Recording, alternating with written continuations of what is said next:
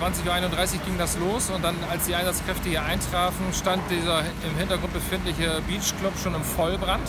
Ein leichter Funkenflug hatte sich schon äh, bemerkbar gemacht, sodass der Einsatzleiter sich gleich zu einem massiven Löschangriff von zwei Seiten mit insgesamt vier C-Rohren und einem Wenderohr über die Drehleiter entschieden hat. Diese Maßnahmen zeigten dann relativ schnell Löscherfolg. Nichtsdestotrotz ist das ähm, diese Einrichtung doch erheblich beschädigt worden. Zwei Container, die dort noch verbaut worden sind, ähm, wurden geöffnet und zwei Gasflaschen, die nicht betroffen waren, sichergestellt.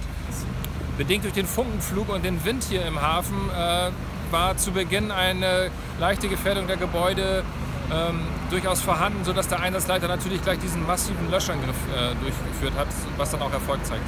Oben auf dem, äh, in dem Bereich sind wir dann mit vier C-Rohren in einem Zangenangriff und gleichzeitig über das Wenderohr der Drehleiter zum Schutz der Gebäude dann vorgegangen. Personen sind glücklicherweise nicht zu Schaden gekommen. Und wir sind jetzt noch mit den Nachlöscharbeiten hier eine Weile beschäftigt und waren mit insgesamt 40 Einsatzkräften vor Ort.